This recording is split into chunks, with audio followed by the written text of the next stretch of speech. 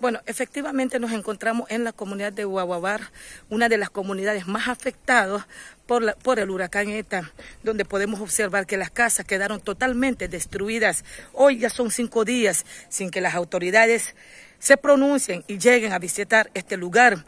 Los albergados que estaban, algunos comunitarios en la ciudad de Bilwi, hoy regresaron para por lo menos a ver qué puede hacer con su casita, pero el trabajo de toda una vida se está quedando atrás. Estos comunitarios solo viven de la pesca y así como están, a como pueden apreciar la destrucción total, ellos pues comenzarían de cero.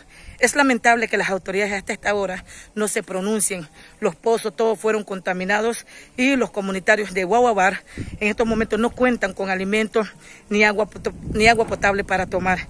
Ellos lo que hacen es tomar agua de coco para eh, calmar la sed pues es lamentable esta situación.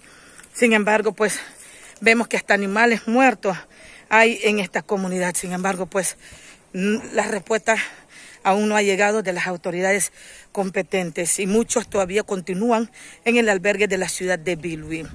Desde la comunidad de Guaguabar, para Voces en Libertad, Georgina Vargas.